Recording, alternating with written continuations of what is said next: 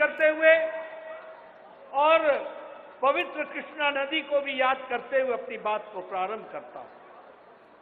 मित्रों, मैं बैठा बैठा याद कर रहा था कि किस अरमान से, कितने अरमानों को लेकर हम सब लोगों ने तेलंगाना का निर्माण किया था। यहाँ मंच पर बैठे हुए मेरे बहुत से ऐसे साथी हैं जिन्होंने तेलंगाना के लिए आंदोलन में अपना सर्वस्व लगा दिया और तेलंगाना को राज्य के रूप में स्थापित करने में कोई कसर नहीं छोड़ी। मैं उन तमाम लोगों को जिन्होंने तेलंगाना के लिए अपने आप को आहूत किया, उनको मैं नमन करता हूँ और उनको मैं नमन करते हुए अपनी बात को प्रारंभ करता हूँ। मित्रों, लेकिन मुझे आज दुख है। मुझे दुख इस बात का है कि तेलंगाना पीछे रह गया और एक परिवार तेलंगाना का शोषण करके आगे बढ़ने का प्रयास किया, ये सबसे बड़ी दुर्भाग्य की बात है। और जब मैं एक परिवार बोलता हूँ तो ये केसीआर का परिवार खुद केसीआर, उनका बेटा, उनकी बेटी, आने वाले समय में उनके वंश से पैदा होने वाली संतान, यही भारत राज्य समिति बन गई है। बाकी तेलंगाना को पीछे ढकेल दिया, इस बात का मुझे दुख है। मुझे इस बात का भी दुख है कि तेलंगाना के हुनर को, तेलंगाना के टैलेंट को, तेलंगाना के ऊर्जा को तेलंगाना के सामर्थ्य को उन्होंने नकारते हुए अपने परिवार को बढ़ाने का काम किया, यह हम सब लोग जानते हैं।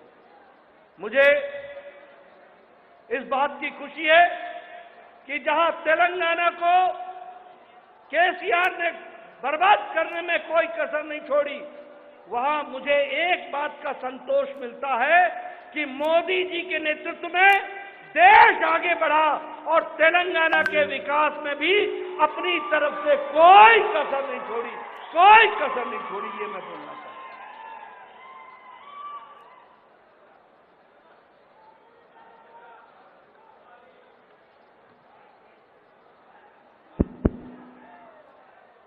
భారీ ఎత్తున కొనసాగుతున్నటువంటి అశేష ప్రజానికము బహిరంగ సభకు వేదిక మీద ఉన్న పెద్దలు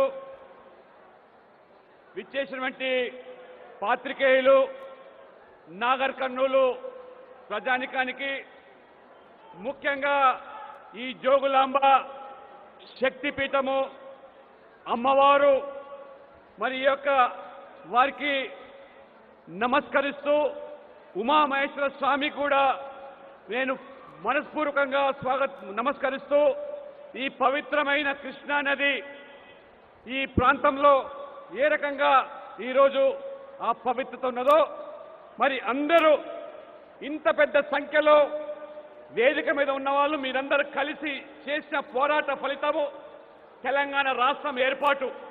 అనేక మంది త్యాగాలు బలిదానాల వల్ల ఏర్పడినటువంటి ఈ రాష్ట్రము మరి ముఖ్యంగా అమరవీరులకు అమరవీర కుటుంబాలకు నేను మనస్పూర్వకంగా వారికి ఆదరపూర్వకంగా వారి త్యాగాలకు ఈరోజు శిరస్సు వంచి నమస్కరిస్తూ ముఖ్యంగా ఈ సాధించుకున్న తెలంగాణనేమో వెనుకబడిపోతూ ఉన్నది.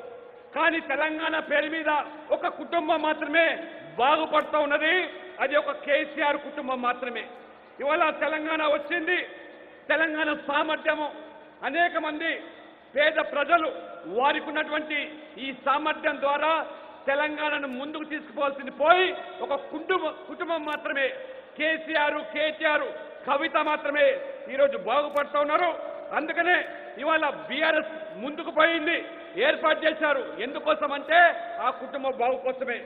ఇవాళ ముఖ్యంగా నరేంద్ర మోడీ గారి నేతృత్వంలో తెలంగాణ అభివృద్ధి కోసం అనేక రకాలుగా భారీ ఎత్తున నిధులు అభివృద్ధి పేదల సంక్షేమం కోసం పాటుపడుతూ సేవ సుపరిపాలన పేదరిక నిర్మూలన అంకితంతో పనిచేసినటువంటి మోదీ ప్రభుత్వం ఖచ్చితంగా తెలంగాణ అభివృద్ధికి కట్టుబడి ఉందని చెప్పి నేను తెలియజేస్తా ఉన్నాను मित्रों जब मैं मोदी जी के नेतृत्व में भारत के नौ साल सेवा सुशासन और गरीब कल्याण की बात करता हूं तो गांव गरीब वंचित, पीड़ित, शोषित, दलित, हमारे युवा भाई, हमारे किसान भाई, हमारी महिलाएँ, बहनें, इनको सशक्तिकरण करने का काम किया तो नरेंद्र मोदी जी की नीतियों ने किया, ये हमको ध्यान में रखना चाहिए। जब हम बात करते हैं प्रधानमंत्री गरीब कल्याण अन्न योजना की तो 80 करोड़ की जनता को पाँच किलो गेहूँ या पाँच किलो चावल, एक किलो दाल और एक किलो नमक देने का काम किसी और ने नहीं किया। नरेंद्र मोदी ने 80 करोड़ की जनता को दिया है।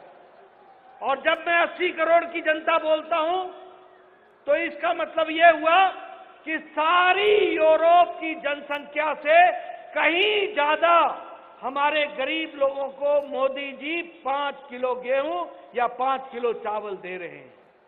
और आपको जानकर खुशी होगी कि भारत की गरीबी, भारत की गरीबी 22 प्रतिशत से घट करके 10 प्रतिशत से कम हो गई है। From 22 percent it has been reduce to 10 percent less than 10 percent और अति गरीबी एक्सट्रीम पॉवर्टी एक प्रतिशत से भी कम हो गई है। ये भारत की बदलती तस्वीर हमको देखने को मिलती है।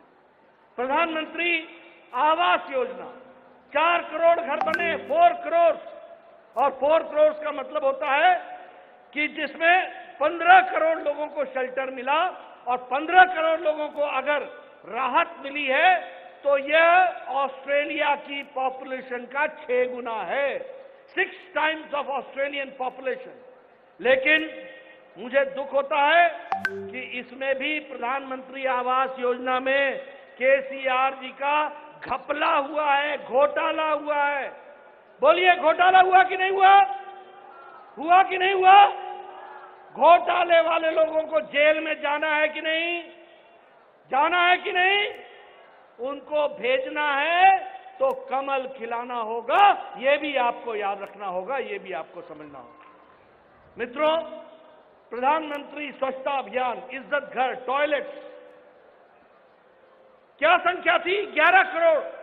और 11 करोड़ में 31 लाख टॉयलेट हमारे तेलंगाना में बने 31 लाख और 31 लाख का मतलब है कि आज मोदी जी ने भारत को 100 परसेंट ओडीएफ कर दिया, ओपन डेफिकेशन फ्री कर दिया। अब कोई बाहर खेत में नहीं जाता है। सबको, यानी 11 करोड़ महिलाओं को और आपके यहाँ 31 लाख महिलाओं को इज़्ज़त से जीने का अधिकार दिया तो नरेंद्र मोदी जी ने दिया। ये भी हमको ध्यान में रखना चाहिए। मित्रों, उज्ज्वला योजना, उजाला योजना, इन सबने जहाँ गैस पहुंचाई